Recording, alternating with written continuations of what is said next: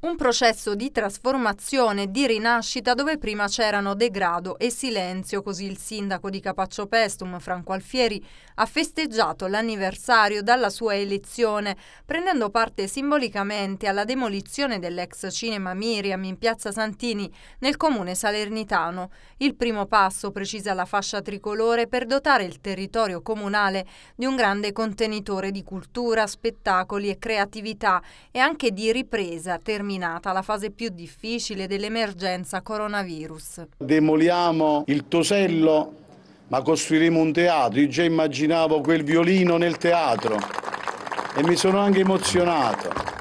Questa è una demolizione che non toglie soltanto una bruttura, un edificio vecchio, ma io credo demolisce anche parte della rassegnazione, parte dell'indolenza, dell'incapacità che c'è stata, io non dico su tutto, ma su questa storia c'è stata incapacità, indolenza. Lo demoliamo, abbiamo già l'opera finanziata, ci auguriamo che dal concorso di idee esca anche una visione di tutta Piazza Santini più bella, è già finanziato anche l'edificio comunale, la CEI ha finanziato anche la ricostruzione, speriamo, della chiesa per qualche milione di euro, quindi ci sarà un recupero e una trasformazione di Piazza Santini generale che rigenera la città.